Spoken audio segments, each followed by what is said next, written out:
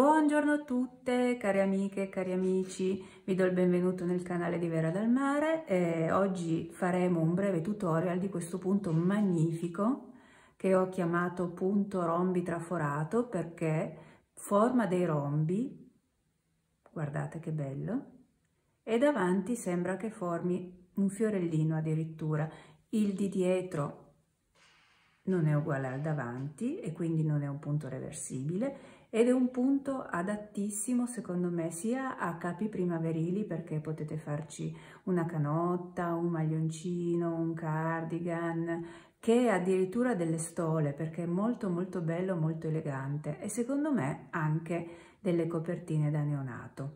Allora, il punto è abbastanza semplice ed è per questo che ve lo propongo.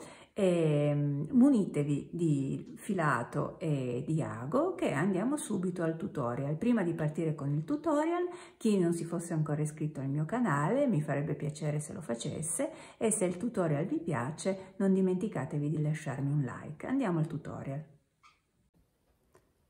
Allora, il nostro punto a rombi traforati richiede che siano montate un numero di maglie multiplo di 3, quindi 3 più 3 più 3 più 3 più 3 fino a quando ne avrete bisogno, più le due maglie di bordo di vivagno, che possono essere 2 o 4, dipende da, da come decidete di fare il vivagno.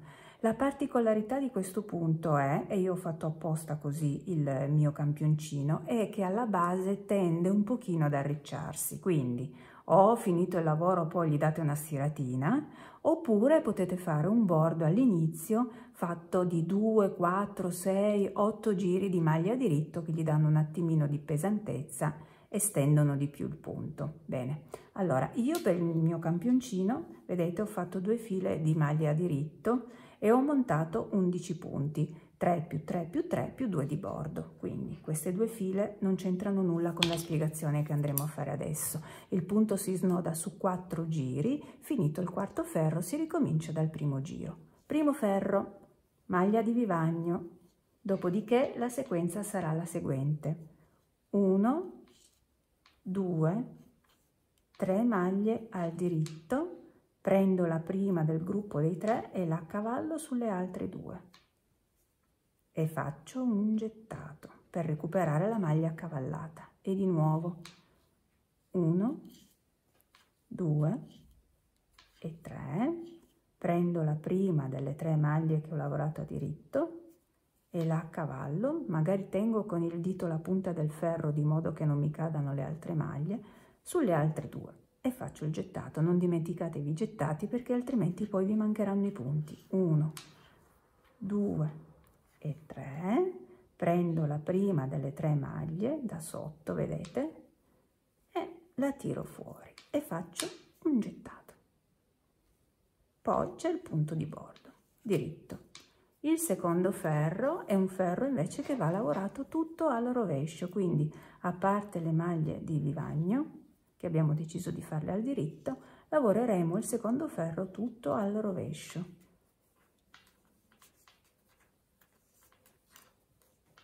semplicemente a rovescio. Ecco qua, secondo ferro, ferro rovescio, semplicissimo. Terzo giro, maglia di vivagno, dopodiché lavorerò un diritto all'inizio. E poi dopo questo ci sarà quello che ripeterò nell'asterisco, cioè la mia sequenza, che sarà formata da un gettato e tre diritti. Uno, due e tre. Il primo dei tre diritti lo accavallo sugli altri due. Ok, e ripeto la sequenza. Un gettato e uno, due e tre diritti. Il primo dei tre diritti lo accavallo sugli altri due. Lo prendo da sotto tengo il ferro e lo tiro fuori. Un gettato e vedete che però adesso avanzo soltanto due punti perché questo è di vivagno. Questi due punti alla fine del ferro del terzo giro andranno lavorati a diritto. Uno e due.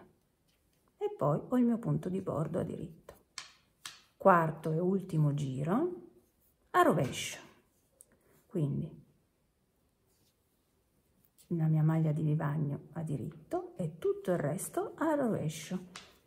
Allora il secondo e il quarto ferro sono semplicemente a rovescio.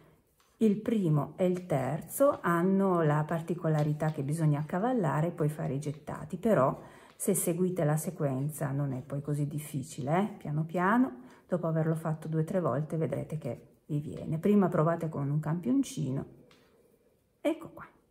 E questo è il mio lavoro. Andando avanti si formeranno, vedete che già si vedono, i nostri rombini, guardate che belli. Qui è fatto con un, una lana più sottile nel campioncino, non solo ho lavorato con una lana più spessa, ma ho lavorato anche molto molto largo, guardate che bello, di modo da far vedere bene il lavoro. Allora, volevo farvi vedere una cosa. Ho realizzato queste piccole campanelle per l'avvicinarsi della festa, della festività di Pasqua. Le ho fatte con l'uncinetto.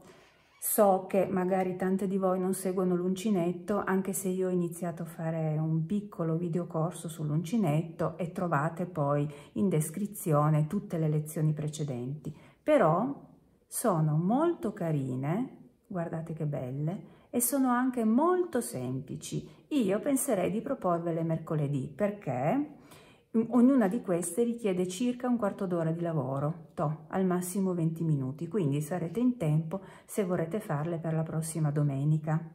Allora, io le metto da parte, riprendiamo di nuovo il nostro bel campione e con questa inquadratura ci salutiamo e ci diamo appuntamento al nostro prossimo tutorial. Vi abbraccio tutti, ciao dalla vostra Vera, ciao ciao!